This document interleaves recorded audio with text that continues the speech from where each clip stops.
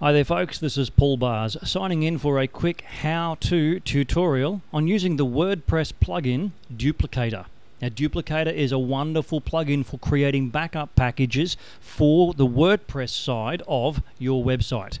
This is something that we're going to be doing manually and in the first part, or actually in this video, I'm only showing the first part of what Duplicator can do. It's just how to create the backup package do a quick Google search for how to clone a WordPress website if you'd like to find my video on how to also reinstall that package should something happen to your website and you need to use the backup.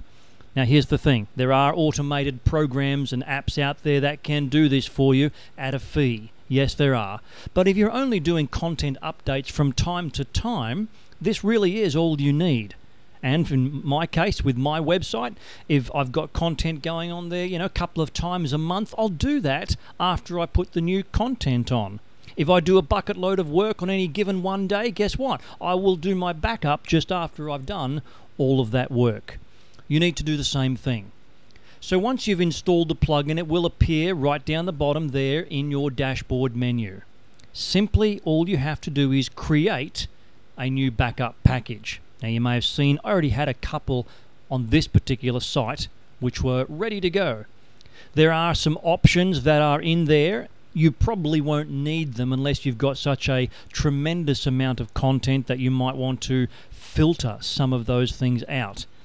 But if I now click next, it scans my site and it looks for files, possible problems, and so on. So here we have, it says 150 megabytes is a warning on the total size. Yeah, for me, if it's over 500 megabytes, then I might be curious. Large files. Oh, this is not uncommon where people upload usually large files and they are often, uh, here we go, images, graphics and images. Now these ones I believe actually came with the template for this. We're still playing around with this particular site, but you might like to look at compressing those if your file sizes are coming up often too large. However, I'm going to click yes, no problems. I've never had problems with those things. The only things that have ever given me problems on other people's servers are things like PHP setup and so on. But I don't have that problem with my own hosting it now builds a package for me. I can go and grab a cup of tea. It's only going to take 30 seconds or so. Boil the water. By the time I come back, it should be just about ready. And this is for an average medium sized website.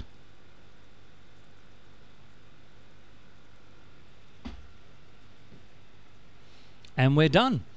All we have to do now is download the installer and the archive, which is a very simple thing. Click it's going to ask me, where do I want to save this?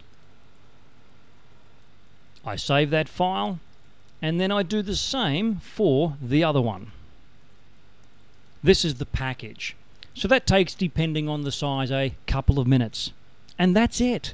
That has now backed up everything, and I'm now downloading that entire backup to my computer. Very, very important. But there is one more thing that I think you should do.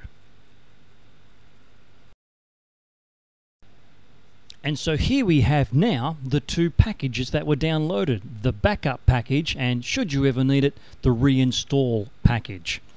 So, what else should we be doing? I think it's also very important not just to save them to your computer, but also to save them to Dropbox. So, I've copied those. I'm now going to paste them, the whole uh, folder, into Dropbox, which is a cloud based system. You can use Dropbox, you can use Drive, you can use Microsoft's whatever they have. Doesn't matter. Here's the important thing never, ever, ever trust your own computer to be reliable enough for your website's backups. Have a backup of the backup somewhere in the cloud. Thank you very much, and I'll talk to you again soon.